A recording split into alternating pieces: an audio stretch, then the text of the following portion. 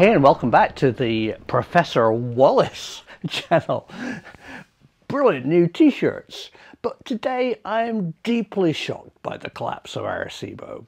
This footage I'm about to share with you comes from the National Science Foundation, who were looking after the facility after the American military has lost interest in it.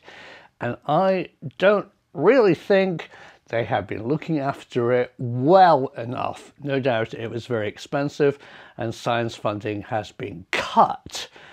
But the footage of this icon collapsing is very distressing.